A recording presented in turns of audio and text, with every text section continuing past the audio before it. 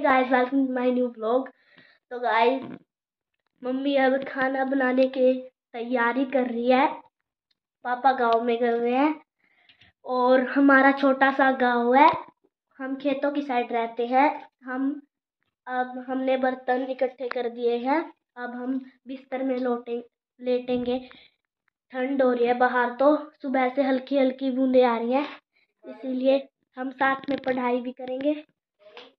Notebook ले लेते हैं गाइस तो दो मिनट रुको गाइस तो गाइस सुबह से हल्की हल्की बारिश आ रही है।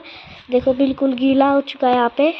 वहाँ पे भी हो चुका है थोड़ा थोड़ा और सूरज ढलने वाला है शाम के देख, शाम के सिक्स छः बज चुके हैं। शाम के छः बज चुके हैं अब हम। बिस्तर में लौटेंगे और पढ़ाई करेंगे। फिर हम शाम को ट्यूशन पे जाते मेरी ताऊ की लड़की के वो पढ़ाते हैं तो सुन भी लेती है, इसलिए हम बिस्तर में लेटते हैं और फिर हम पढ़ाई करते हैं। तो गाइस अब मैं हल्का फुल्का खाना लेंगी। इतने मम्मी खाना बना रही थे, हम बेर खा लेते हैं। दो अंगूर भी है इसमें। एक ही वे खाएँगे हम। अब फिर हम पढ़ाई करेंगे। तो गाइस मैंने बेल खा लिया है और मैंने पढ़ाई भी कर लिया है। एक बार हम आपको ऊपर से नज़ारा दिखा के आते हैं। चलो चलते हैं। बिल्कुल अच्छा नज़ारा हुआ हुआ है। चलो चलते हैं। तो गाइस तो गाइस अब तो बाहर बिल्कुल ही ठंडी हवा चल रही है।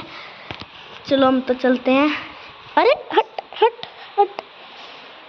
बंद कर देते हैं हम उसको हम अब ऊपर चलते हैं, चलो। आपको ऊपर से नज़ारा दिखाते हैं हम। तो गाइस तो गाइस अब थोड़ा ही, थोड़ा लाल लाल हुआ हुआ है। पिंक पिंक तो हमने दिखा दिया आपको।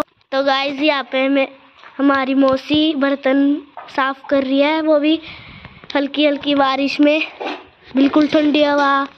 हुई हुई है, देखो वहाँ से कोरा हुआ है, बिल्कुल हमने आपको दिखा दिया, अब नीचे चलते चलते तो गाइज़ हम ट्यूशन से आने के बाद फिर हम दस मिनट फ़ोन देखते हैं और फिर मैं सो जाती हूँ सुबह उठ के सिक्स बजे। मैं फिर थोड़ा सा लर्न करती हूँ। सुबह बिल्कुल शांति होती है, इसलिए जल्दी याद होता, याद हो जाता है रिपीट हो जाता है। फिर मैं नहाती हूँ, मम्मी का थोड़ा काम करवाती हूँ थोड़ा थोड़ा बर्तन रख देती हूँ वहाँ पे उधर उधर यही देख के thank you for watching bye guys